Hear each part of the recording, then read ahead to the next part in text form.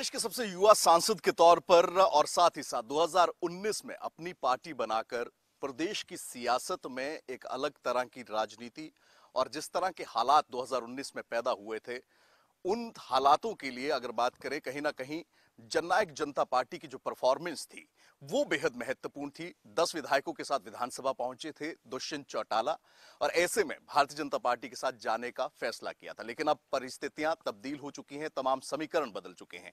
अब ऐसे में जजपा किस तरह से 2024 के रण के लिए तैयारी कर रही है, मेरे साथ बात करने के लिए, प्रदेश के पूर्व मुख्यमंत्री दुष्यंत चौटाला साहब मौजूद है। 2019 के समीकरण और थे, सर। आप गठबंधन में गए, लेकिन अब परिस्थितियाँ तब्दील हो गई एकाएक। अब जजपा की क्या तैयारी है 2024 के लिए? किस तरह की तैयारी लोकसभा के रण के लिए? जहाँ लोकसभा के चुनाव की बात है 2019 के अंदर ना तो हमारा सिंबल फिक्स था। हमें टेम्परेरी सिंबल चप्पल का मिला, उसको अंतिम व्यक्ति तक नहीं पहुँचा पाए। मैदान में आम आदमी पार्टी के साथ उतरे, आम आदमी पार्टी के पचास हज़ार से भी कम वोट आए। हम सात सीटों पर लड़े, साढ़े छः लाख से ऊपर टोटल दोनों पार्टियों के लगभग सात लाख वोट आए। उन परिस्थितियों में एक बड़ा चुनाव जब पुलवामा और ये सारे इश्यूज़ थे, तब मैं मानता हूँ एक इम्पैक्टफुल इलेक्शन नहीं रहा। आज की परिस्थिति में हमारा लगभग साढ़े चार साल का गवर्नमेंट का परफॉर्मेंस है, जो हमने कमेरे किसान के लिए काम करे, चाहे चौदह फ़सलें एमएसपी पर हो चाहे डीबीटी के माध्यम से एक लाख करोड़ रुपया किसान के खाते में देना हो, चाहे बीस हज़ार किलोमीटर सड़कों का सुधारीकरण हो, ये सारे एस्पेक्ट्स हैं जो लोकसभा में जाएँगे। और दूसरी चीज़, मेरा ये मानना है कि हरियाणा ने दस सांसद कांग्रेस को भी दिए हैं, दस बीजेपी को भी दिए उन परिस्थितियों में स्टेट ने देखा है कि जब स्टेट की आवाज़ नहीं जाएगी, आवाज़ हरियाणा की पार्लियामेंट में नहीं गूंजेगी तो डायरेक्टली इनडायरेक्टली उसका जो नुकसान है, वो स्टेट को भुगतना पड़ता है। जब मैं सांसद था ट्रैक्टर को कमर्शियल व्हीकल बनाया, मैं ट्रैक्टर लेके पार्लियामेंट में गया तो सेंट्रल गवर्नमेंट ने विड्रॉ किया। किसी बीजेपी या कांग्रेस के सांसद ने उस समय आवाज़ नहीं उठाई। आज भी यही हुआ है। आज की परिस्थिति में पाँच साल में आप डिबेट्स उठा लीजिए, आप ज़ीरो आवर क्वेश्चन आवर उठा लीजिए। कहीं भी पार्लियामेंट्री डिस्कशन में हरियाणा एज अ स्टेट नहीं गूंजा। और हमारा इस बार का इशू भी यही है कि हरियाणा की आवाज़ को पार्लियामेंट में जगह दो और आवाज़ हरियाणा की जब गूंजेगी तो अपने आप हरियाणा के अधिकारों की सुरक्षा होगी, हरियाणा प्रगति करेगा। कुछ फैसले होते हैं सर दो ही परिणाम निकलते हैं। या तो फैसलों पर पछताना पड़ता है या बहुत बेहद ज़्यादा खुशी होती है। 2019 में एक फैसला किया गया था भारतीय जनता पार्टी के साथ जाने का। आज की परिस्थिति में चीज़ें बदल गई, गठबंधन टूट गया। क्या इन हालातों के बारे में पहले से दुष्यंत चौटाला को पता था कि ये होने वाला है? और आज की परिस्थिति में अगर बात करें, उस फैसले पर कोई मलाल या क्या कोई अलायंस परमानेंट है? अलायंस एक अरेंजमेंट है जो दोनों पार्टी के विजन को रास्ता देता है आगे चलने के लिए। जो इलेक्ट्रोल को उनने कमिट किया है, उसको फुलफिल करने के लिए। साढ़े चार साल में एक भी ऐसा वादा नहीं है, जो हम टच ना कर पाए हो या पूरा ना कर पाए इवन बुढ़ापा पेंशन देश में सबसे ज़्यादा कहीं है तो तीन हज़ार रुपए हरियाणा में है। पचास परसेंट वुमेन रिजर्वेशन है। प्रदेश के अंदर सेवेंटी फाइव परसेंट कानून हमने लागू किया कानूनी तौर पर और सुप्रीम कोर्ट में भी लड़ेंगे, जीतेंगे। आज जब बात करते हैं कि प्रदेश के अंदर सड़कों के इंफ्रास्ट्रक्चर को सुधारने। बहुत मिनिस्टर्स रहे होंगे, बहुत लोगों ने पीडब्ल्यूडी देखा होगा। आप इतिहास उठा के देखो, सिर्फ़ एक काम होता था, नई सड़क नई सड़क नई सड़क। बीस हज़ार किलोमीटर और इस साल की भी नौ हज़ार जो टेंडर फ़ेज़ में है, उनतीस हज़ार किलोमीटर सड़कों के इंफ्रास्ट्रक्चर को एक साथ दुरुस्त करने का प्लान बनाना। हरियाणा जैसी स्टेट में दो एयरपोर्ट्स का निर्माण करना चारों हमारी डेड एयर स्ट्रिप्स को फ्लाइंग ट्रेनिंग ऑपरेटर्स के माध्यम से स्कूल्स बनाने की पायलट ट्रेन हो। देश का पहला स्काई डाइविंग इंस्टीट्यूट जो है महेंद्रगढ़ में लाना। इंडस्ट्रियल डेवलपमेंट में चालीस हज़ार करोड़ का निवेश, कोई छोटा नहीं होता। बहुत चीज़ें हमने करी है, जनता के बीच में जाएँगे, समझाएँगे। और मैं मानता हूँ कि अब लोग भी देखते हैं कि आवाज़ को पार्लियामेंट में वही रख पाते हैं जो उनकी समस्या से वाकिफ होते हैं। तो लोग जनमत देंगे। और जहाँ आपने कहा कि पछताना पड़ता है और ये करना पड़ता है, मुझे नहीं लगता कि राजनीतिक निर्णयों पे कोई पछताता है। या तो मैं विलय कर लूँ और विलय करने के बाद वहाँ टिकट ना मिले तो तो पछताऊँगा। आपने पूरी डेडिकेशन आपने आपके पिता ने एनडीए की मीटिंग्स में भी आप शामिल हुए ऐसी परिस्थिति में क्या एनडीए के अंदर हम सहयोगी बनकर नहीं रहे? भारतीय जनता पार्टी तो आज भी राज चला रही है साढ़े चार साल पहले भी चला लेती। हमें भी तो हमारे घोषणा पत्र के बिंदुओं को शक्ल देनी थी प्रदेश में इंप्लीमेंट कराना था। आपको मैं छोटे छोटे बिंदु बताता हूँ। हरियाणा पंजाब हाईकोर्ट के अंदर हिंदी भाषा लागू करनी। बीजेपी का एजेंडा नहीं था। हमारा था, करवाई हमने। एच टैट के पेपर जो थे, जो साढ़े तीन सौ किलोमीटर बस यात्रा के बाद होते थे, उनको within fifty kilometre radius लाना, हमने करवाया। ठेकेदारी प्रथा बंद करनी, आज आप लोग नहीं समझेंगे। आप आम बच्चे से पूछिए कि उसको दो दो, तीन तीन महीनों की तनख्वाह दे के ठेकेदार को नौकरी लगना पड़ता था या पॉलिटिकल सिफारिश से लगना पड़ता था, आज उसको पूरी तौर पर समाप्त कर कर।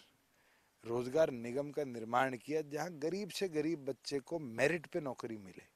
उसकी आर्थिक आय को देखते हुए उसको प्रायोरिटी पॉइंट्स मिले। ये हम कर पाए।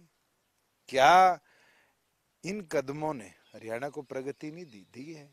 अब इनको जनता कितना समझेगी? वो तो इलेक्ट्रॉल के ऊपर है। वोट कितने देगी? वो तो इलेक्ट्रॉल के ऊपर है। अगर इलेक्ट्रॉल चाहेगा कि दुष्यंत ने जो कदम उठाए गवर्नमेंट में रहते हुए अनूप ने जो कदम उठाए तो मैं मानता हूँ कि आने वाले समय में हमारा इलेक्ट्रॉल हमारे को और बड़ा मैंडेट देगा। और आप लोकसभा की बात करते हैं, पाँच परसेंट वोट आए थे। उसको पाँच को हम दस ले जाते हैं, बीस ले जाते हैं, पच्चीस ले जाते हैं, पैंतीस ले जाते हैं। पैंतीस ले जाते ही तो मैं सिंगल मेजोरिटी में पार्टी को ले आते हैं। क्या हमारा टारगेट ये नहीं होना चाहिए? और एक चीज़ मैं बताऊँ, एक कहावत अपन पेड़ के नीचे बैठे हैं। पेड़ के नीचे पेड़ नहीं उगता। आप किसी पेड़ को दूसरे पेड़ के नीचे बढ़ते हुए नहीं देखोगे। आज मुझे लगता है ये अवसर है दस लड़ेंगे आगे नब्बे लड़ेंगे हमें भी ग्रोथ मिलेगी दस से हम और नंबर्स बढ़ाएँगे। अलायंस में रहते तो शायद हमारे numbers of Vidhan Sabha contesting seats कम रह जाते। आपका एक अलग पॉलिटिकल समझ है। बीजेपी 400 पार का नारा दे रही है केंद्र के परिप्रेक्ष्य में सर। क्या कहेंगे? आप खुद ही असली मैं तो आपको मुस्कुराता नहीं मैं तो हमेशा मुस्कुराता हूँ। देखो, इंदिरा गांधी जी देश की प्रधानमंत्री रही दो बार। तीसरा इलेक्ट्रल इलेक्शन गया 77 में। उस समय के कांग्रेस अध्यक्ष ने नारा दिया, India is Indira Indira is India. क्या रिज़ल्ट आए? इंदिरा गांधी जी स्वयं चुनाव हारी, कांग्रेस बुरी तरह हारी। मुरारजी देसाई देश के प्रधानमंत्री बने।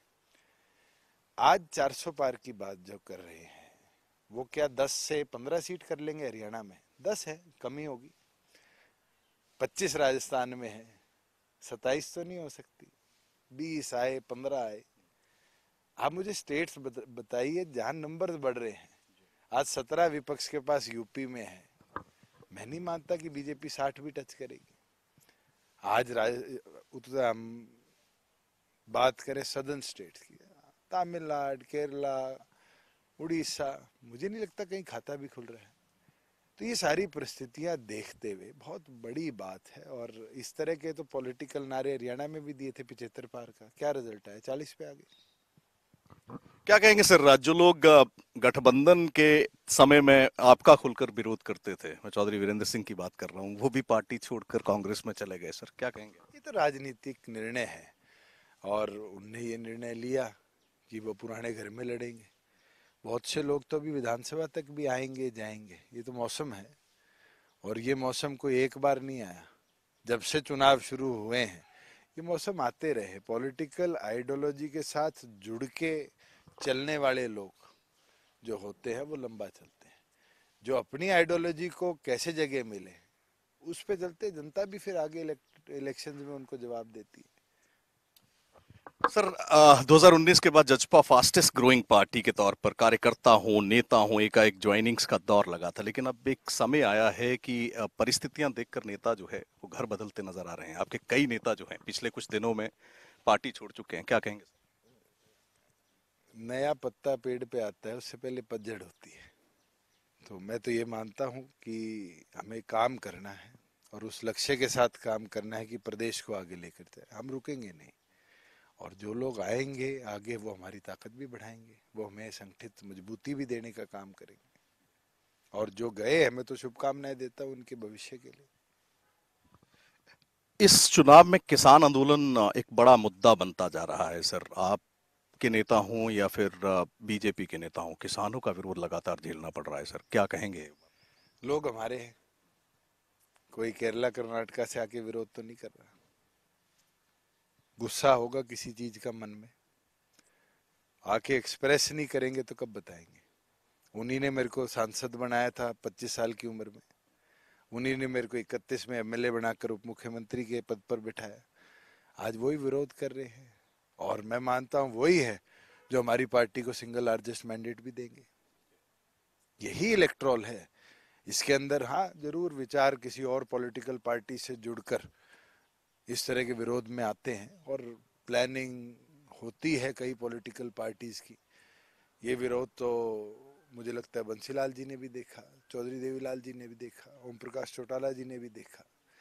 जो भी सत्ता में रहा है, उसका एक ना एक पक्ष तो विरोध ज़रूर करता है। मगर जनता बहुत जागरूक हो चुकी है। आजकल मीडिया, सोशल मीडिया के माध्यम से ये चारी, सारी चीज़ें देखती भी है, समझती भी है।